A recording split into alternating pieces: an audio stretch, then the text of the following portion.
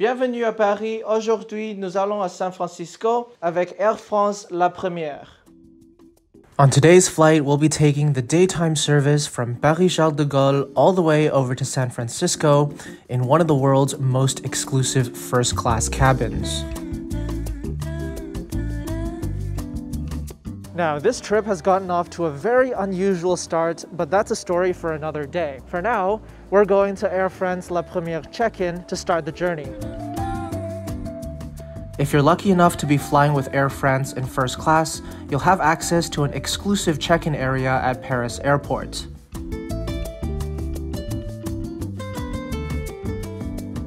We've got a private check-in area here for La Première to start things off. A La Première representative takes your passport and your bags and completes all the check-in formalities for you before escorting you through security. Now, the La Première security process still brings you through the regular security queue with everyone else, but your private escort helps bring you through to the front of the line and navigates through the security process right alongside you. The Air France La Première Lounge is an ultra exclusive space for first class passengers with fine dining on an unlimited a la carte basis. To give you an idea of the sheer luxury in this lounge, there's no less than 11 types of bottled water to choose from.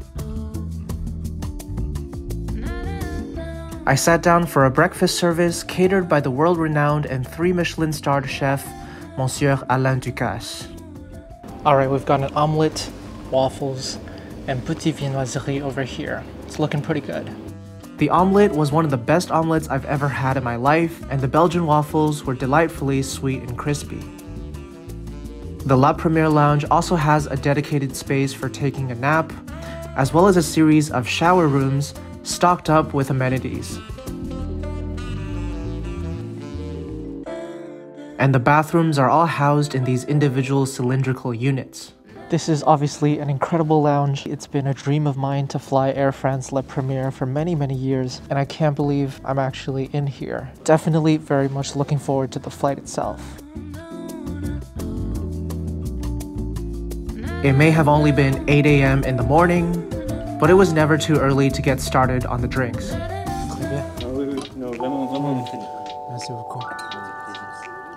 And finally, I couldn't resist trying the pistachio praline ice cream served in a chilled goblet. And you have your vaccinations? Yep. Perfect. Thank you so much. And just like that, it was time for the main event of the Air France La Première ground experience a private car transfer in a BMW across the airport tarmac straight to the Air France 777. Along the way, my chauffeur was happy to take me for a tour of the airport grounds, and we waited for another 777 to pass us by. I've got to say, this is just an absolutely insane thing to be doing.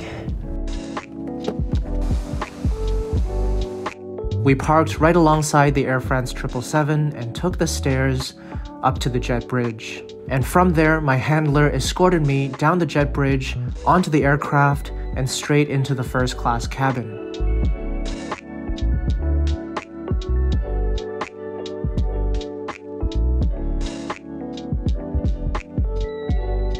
The Air France La Première cabin is a timeless chic design as exemplified by this seat side lamp. Let's go for a comprehensive seat tour. Underneath the ottoman at the opposite end of the suite, there's a storage space where you can keep some of your belongings. Then to your side, there's further storage within the seat console, as well as the entertainment controller and power ports. The controls are found here as well, powering the electronic window shades, and the literature rack is along the bottom. And there's another storage compartment over here.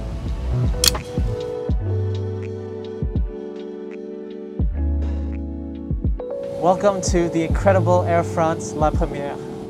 Taittinger's Comte 2007 was the house champagne on this flight. And just to wrap up the seat tour, the tray table slides outwards, leaving enough space to dine with a companion. I've got to say, this is just an absolute dream come true. Among all the first class flying experiences I've had, this definitely is going to rank up there, and it's pretty incredible that I'm actually getting to fly it. Stick around to the end of the video to find out how much I actually paid for this Air France La Première flight. And certainly one of the best features of the suite is going to be these curtains right here, which can close later on. But right now, it's a pretty empty cabin anyway. Let's check out the amenity kit and the pajamas now. The amenity kit is this beautiful leather design featuring skincare items by Carita Paris.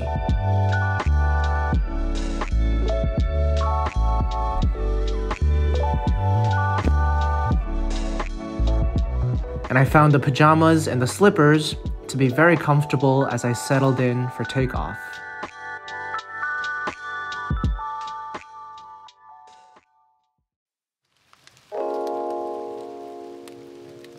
As boarding was completed, I was absolutely overjoyed to find that I'd be the only passenger in the first class cabin today.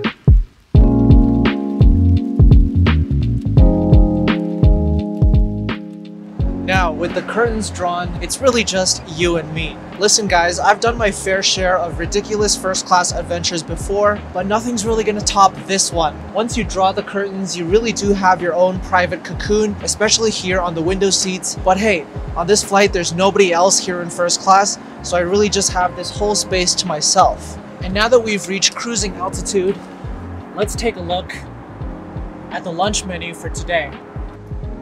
So here we have the lunch menu. It is a very comprehensive multi-course menu with appetizers, soup, starter, main dishes, salad, cheese, dessert, and a hint of freshness at the end.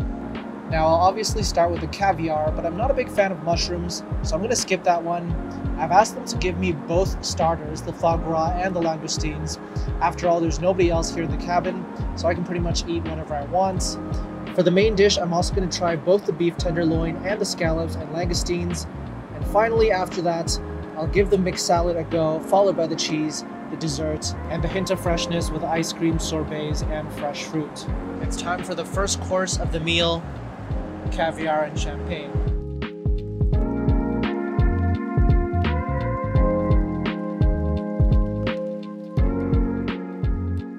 Let's give this a try. That is powerful.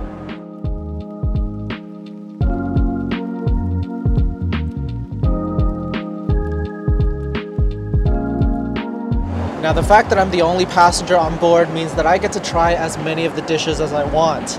So we're doing both the foie gras appetizer and the langoustines, and I'm having some Sauternes wine to go along with it. At 35,000 feet, my meal service continued in decadence and delight. Here's the langoustines.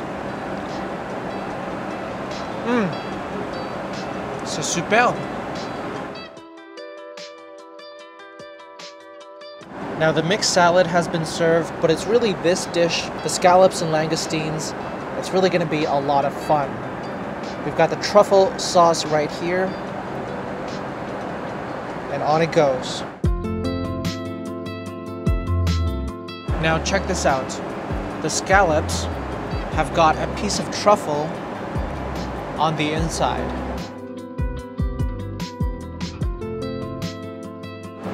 Okay.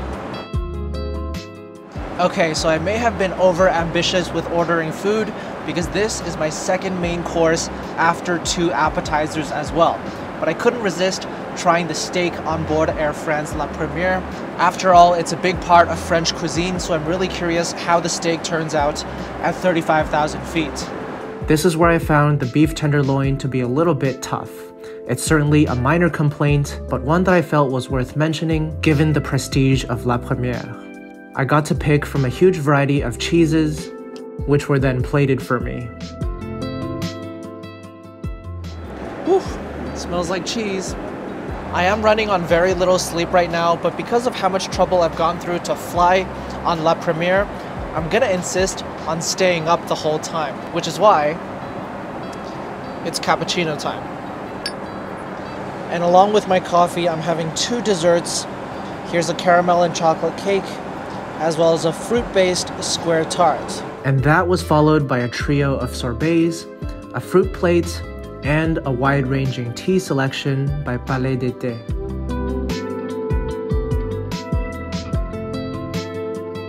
It was the perfect way to wrap up an outstanding meal service. After well and truly stuffing myself with lunch, it's time to get some work done for the rest of the flight. And now I reckon it's time to get some rest. Good night. Like I said though, I don't actually want to sleep, but I'm just testing out the bed.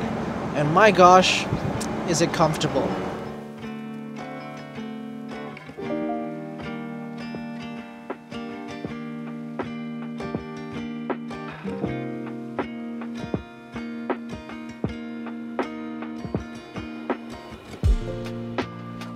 I did end up dozing off for about an hour or so because I did have a very long and eventful day prior to this flight.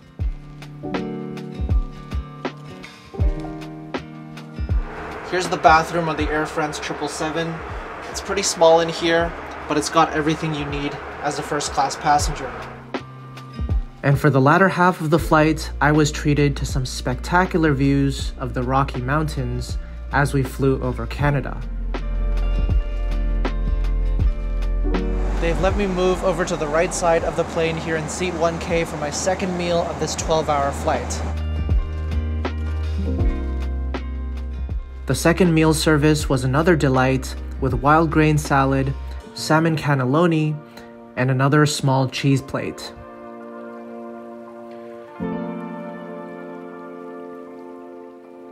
Now, as promised, let's talk about how much I actually paid for this Air France La Première flight. It really wasn't a lot of money at all. I got this flight for about 450 US dollars, even though it usually sells for about 10,000 euros. And the reason I got it for so cheap is because there was a special sale when you bought La Première originating out of Algiers, the capital of Algeria. I bought this fare all the way back in March 2020 and kept pushing the date, and finally now I got to fly it, and I have to say, it has been a worthwhile experience. Would I pay 10,000 euros for this? Probably not, but if there's ever a super sale again, you can bet I'm jumping on it for another experience here in La Première.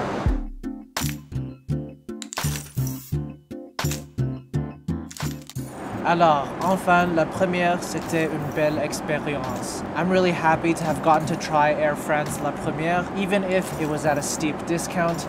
I'm still very happy to have gotten the full experience. I was very impressed by Air France's food and drink on this flight. That's very much what they're known for after all. I think the hard product is starting to show its age a little bit. However, the curtains over here still do a great job of ensuring privacy at every seat, and the fact that there's only four suites here in La Première on the Boeing 777 makes it a very unique experience if you ever get to try it for yourself.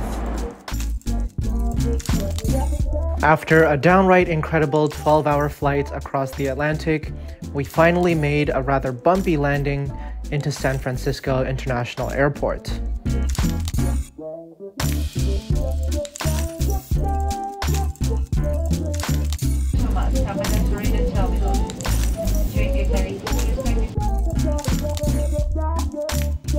Usually you guys provide this arrival service? Yes, we do. Okay. We do.